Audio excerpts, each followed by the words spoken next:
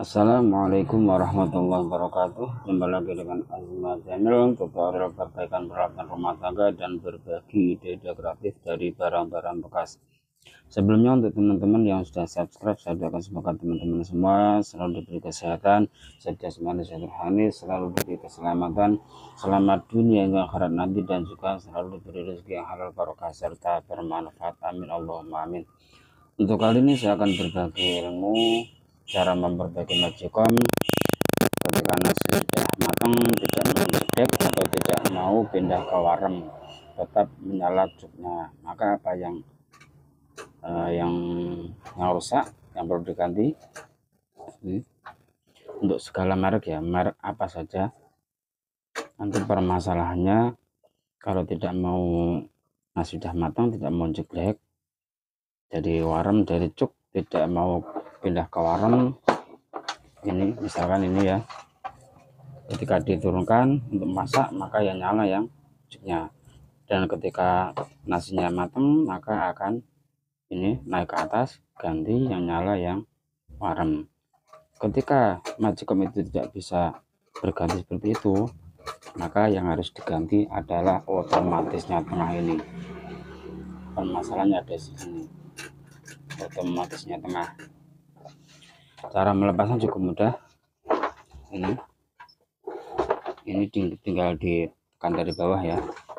Ini. Coba ditekan. Ditekan. Seperti ini.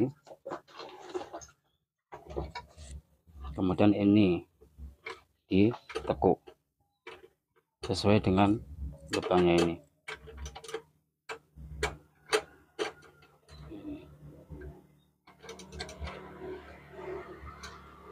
kemudian ini diluruskan.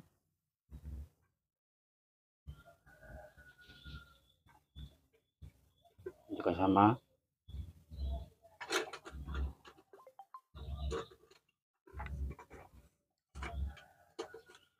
Ya cukup mudah.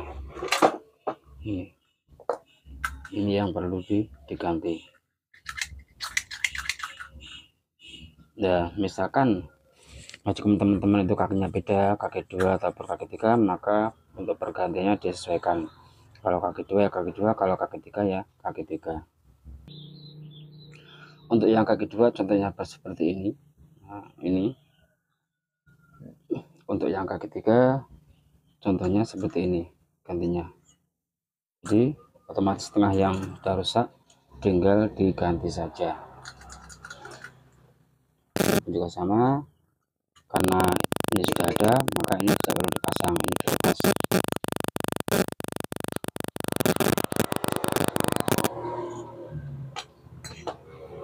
kemudian dimasukkan dari bawah lagi.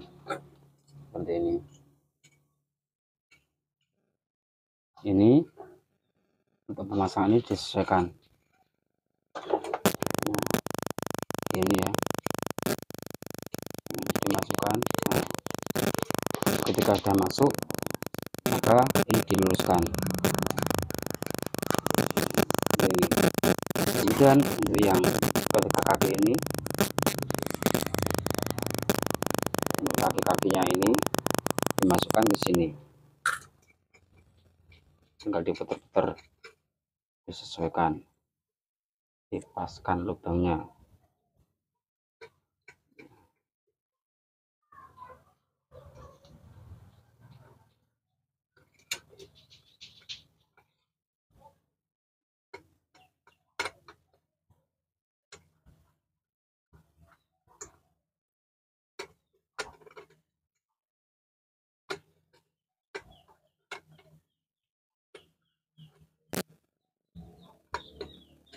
nah seperti ini. Kalau sudah bisa masuk seperti ini ini tinggal ditekuk ke keluar. Jangan tekuk ke dalam keluar. Ini diluruskan. Ini juga ditekuk keluar. Nah, sudah selesai. Tinggal dicoba. Nah mudah dan simpel. Komponen untuk yang tempat ini ya. Ini. Ini dikasih oli sini. Dikasih oli sedikit biar kanan kiri. Nah, biar lancar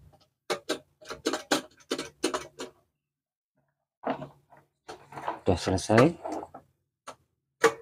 Nah saya bisa balik. Kalau perlu ini juga dikasih oli hasilnya ini bericin setelah itu tinggal ditutup. Cukup mudah simpel dan cepat.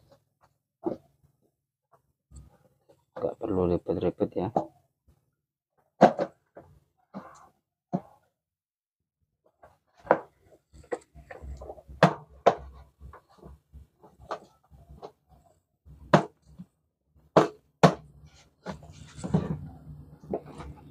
menutupnya tinggal ditekan.